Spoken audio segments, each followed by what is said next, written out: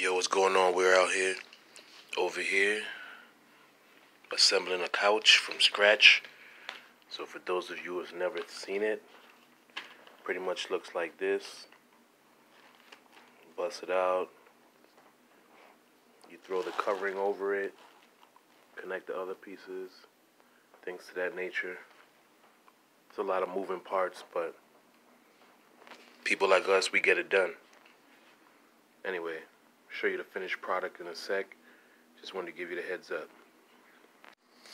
So as you can see, we did the wrap on top. So they all look like this when you begin with them. Then you throw the wraps on. Real tight, real sleek. This is the arm. You got the left arm, you got the right arm over here. And on to the next level of the situation. Until the next one, people. So as you can see, we just got the arms on. Keeping it simple and sleek.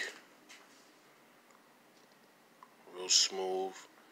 Still got the other pieces that gotta get assembled. But so far, this is what we got going on.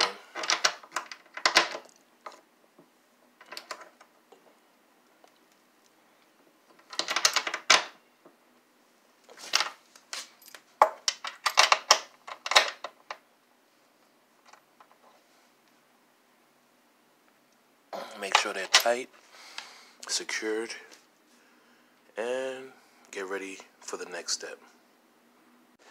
So what's going on? We out here, people. The first part is complete. As you can see, it's a two-seater. Situating that. Now next, we gotta, so now that this is complete and taken care of, we gotta take care of the next one. Which is the one seater on top of that.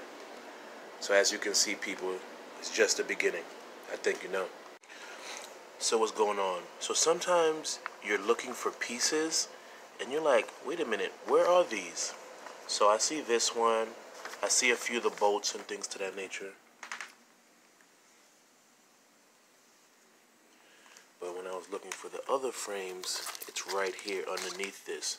So it's very important that you look everywhere for the pieces. Give you the heads up on that. On to the next one. I think you know.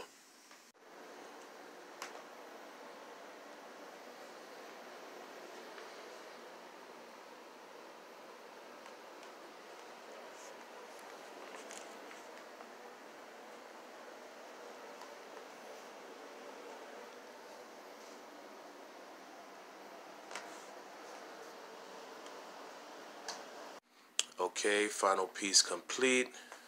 So we got the full couch position.